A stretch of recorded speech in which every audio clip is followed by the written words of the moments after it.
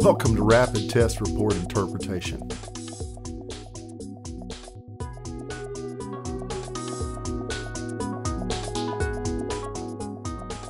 You're going to need a copy of a sample test now, so if you don't have it, pause this and go get one.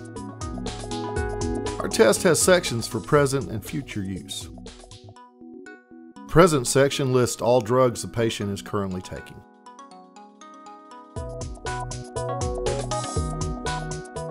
There are easy to spot cues to problems. This patient should never take Plavix. There are better options more likely to work here.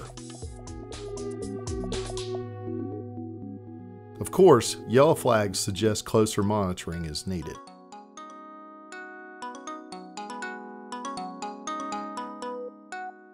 The patient may have other risk factors you should be aware of.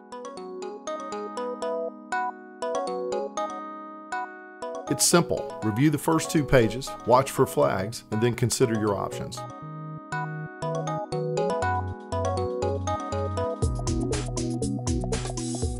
The future reference section contains a personalized quick reference chart, a list of caution meds with dosing instructions, and actual genetic results.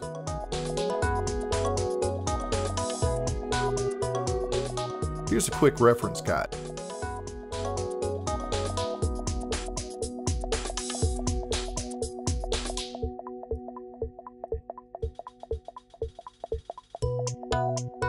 Color-coded columns provide suggestions customized to the patient's genetic profile.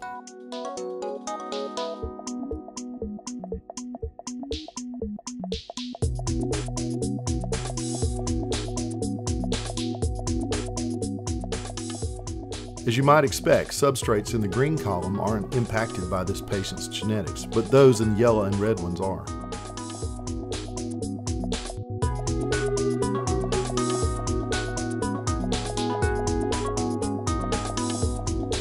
This list contains dosing instructions and warnings specific to the patient's genetics.